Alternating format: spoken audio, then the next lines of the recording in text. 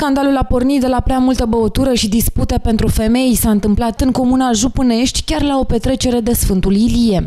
Aceea s-a luat și s-a bătut. Cu sânge, cuțite. Cu cuțite și cu sticle sparse. O atacație între niște băieți cu poftă de muncă, adică de bătaie, doi frați contra unul, a sărit și el la frate următorul și S-au înjunghiat. uh, frații între ei din greșeală că au vrut să-l taie pe ăla și i-a dat în spatele lui frate sub. Era aproape în comă alcoolică. Cei doi frați au ajuns la spital.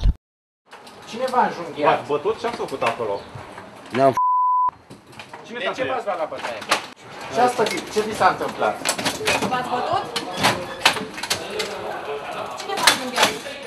Doi pacienți de 27 și 28 de ani.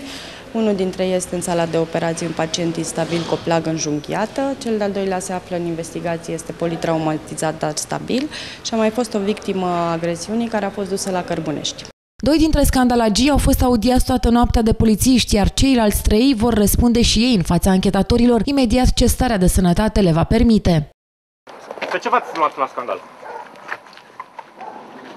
Tu ai dat cu cuțitul?